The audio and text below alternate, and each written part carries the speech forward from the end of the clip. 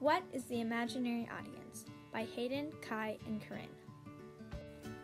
Kids in all shapes and sizes can get the imaginary audience. Imaginary audience can start around 6th to 12th grades, with 8th through 9th grades being the most sensitive.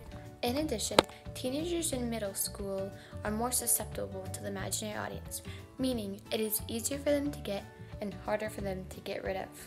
Imaginary audience isn't a disease or a sickness or a physical struggle, it's a mental struggle. When you first learn or hear about the imaginary audience, you might think people judging others on their looks or what they are wearing. But it's so much more than that.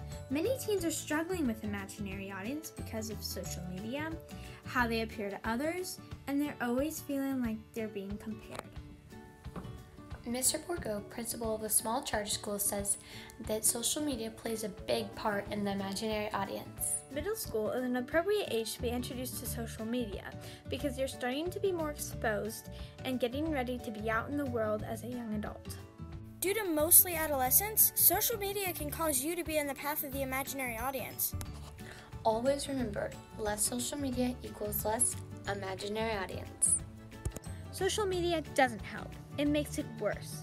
Because if your friend got 86 likes and you only got 4 likes, you might be afraid to share more things digitally, for example, on Twitter, Facebook, or Instagram. And it would be discouraging. Being on social media for too long is not good. Instead, use it for a little time. That is healthy. There's no question about it. Social media can be harmful, so it's always a good idea to take precautions suggested or approved by a trusted adult. Another thing that can trigger the imaginary audience is wanting to be popular. It does not just mean school popularity. Popularity can happen in many different ways.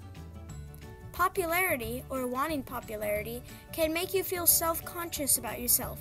It may cause you to second guess your decisions that you can't control. It can, and it can make you feel overwhelmed and stressed. 11 year old Helene Sullivan is worried about saying something stupid in school because mistakes will not be forgotten. I feel like whatever I'm going to say is going to be on everyone's mind all of the time, she said. That is a quote from an article called When the Imaginary Audience Becomes Real. Teens may feel like they have an imaginary audience because they are always worried about how they appear to others. Something to help us with that is the growth mindset. This means knowing that you have the power to improve. Also, a growth mindset is when a student or anybody really understands that their abilities can be developed. This is important to remember if you struggle with the imaginary audience, because it's about knowing that you can grow and that it's okay to change.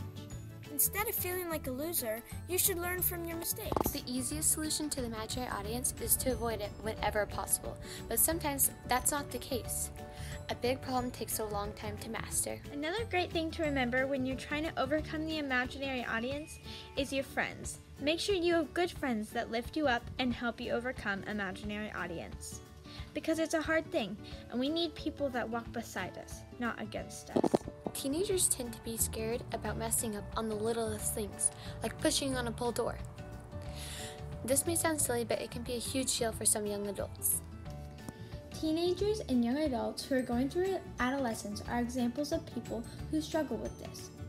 Imaginary audience refers to the tendency of adolescents to falsely assume that their appearance or behavior is the focus of other people's attention. If they're focused on stuff like that, there must be other struggles too, like getting behind in school or not spending enough time on important stuff.